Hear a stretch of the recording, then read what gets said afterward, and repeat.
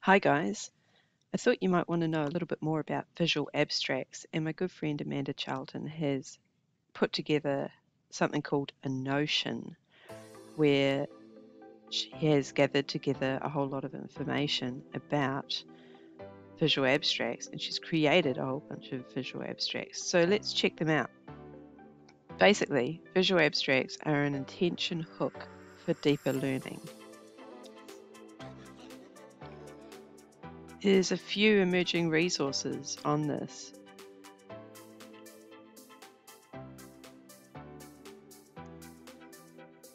It's important that visual abstracts have certain uh, elements and the rationale behind them are listed here.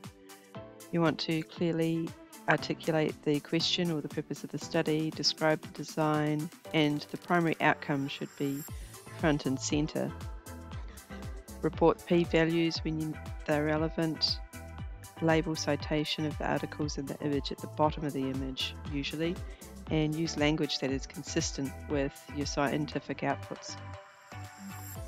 Only use images for which you have the rights and get someone else to look at it. So that's what they've been doing in the Annals of Thoracic Surgery. They've been following these guidelines, including this one here, this external review.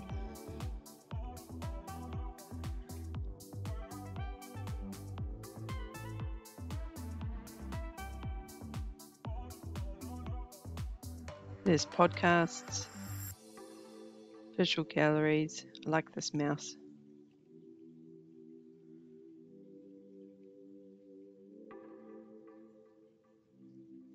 Right, so really simple. You want a big fat image that tells the story and hooks in the reader or the viewer. And you want to limit the amount of words on your visual abstract. Amanda's identified a few PowerPoint templates that people can use from Boston University. That's worth noticing. I don't like the colour though. Oh, and here's colour palettes. so you can even identify what's trending in terms of the colours that you use on your visual uh, visual abstracts.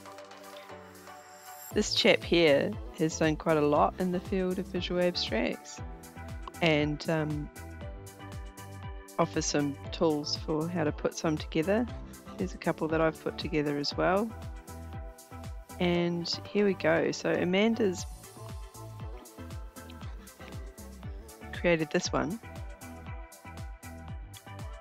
Reading the text does not engage learners today, but give them a crazy picture and they'll take it in and they'll have a bit of fun while they do it.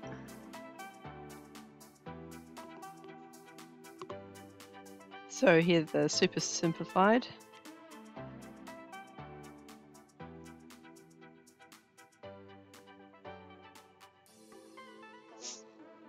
If you change the color what does that do? Different, there's a whole lot of science behind the different use of colours.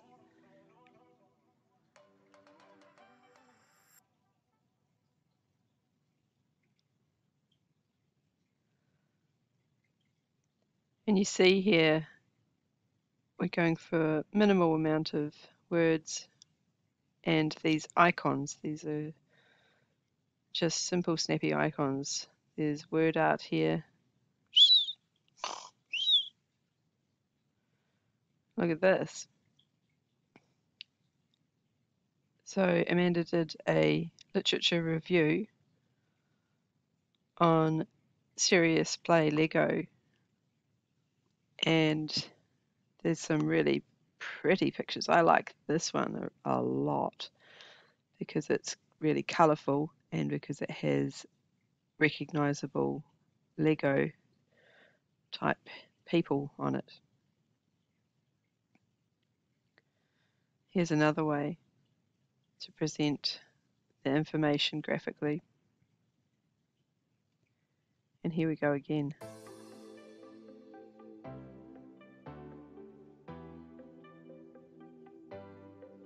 And here it is in the templates with the yellow colouring again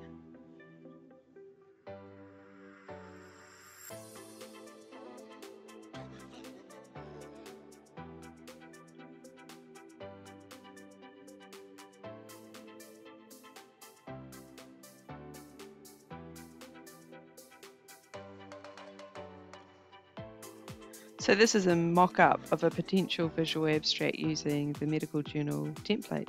This is what it would look like as opposed to creating our own template. So this is the same information presented in heaps of different ways. I really like this one here. For me, that's got lots, uh, it's got enough going on that makes it engaging and I want to look at it and I want to learn more. But it's not text heavy and it hasn't got too many little boxes. Whereas I think this one has got a bit more going on and the text is necessarily smaller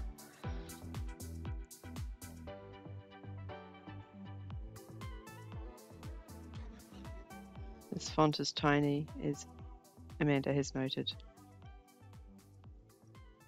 So yeah, there's lots of ins and outs with a visual abstract.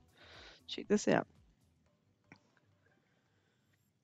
This is like an explainer, uh, the explainer videos that are trending at the moment. These icons are from Common Craft.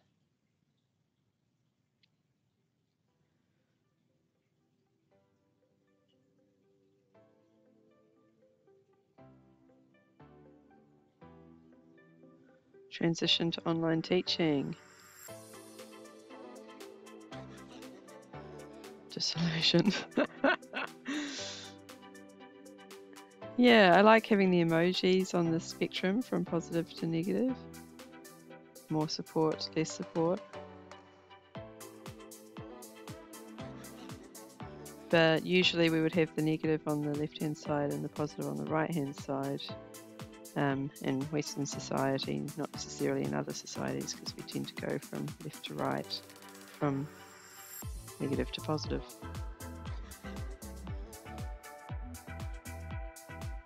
Here we go, look. If we move this into the center, what does it do?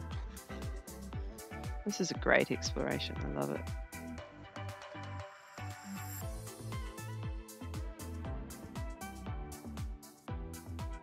Ah, and look, see we've got this step. Things getting more useful. See, less uh, negative to positive. I like this step. Works really well. You can have a few steps. And this is getting a bit more wordy though down here. So there really is an art to creating a strong visual abstract.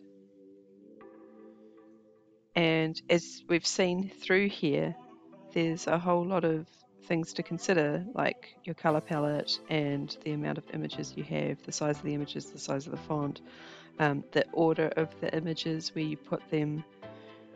All kinds of things can make a big difference to your visual abstract. There's heaps of um, great examples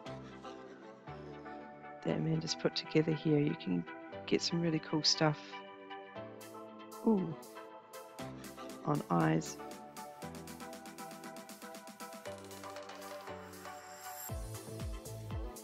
Five steps on how to be more like more pirate. Break a stupid rule, rewrite the rule. I love this.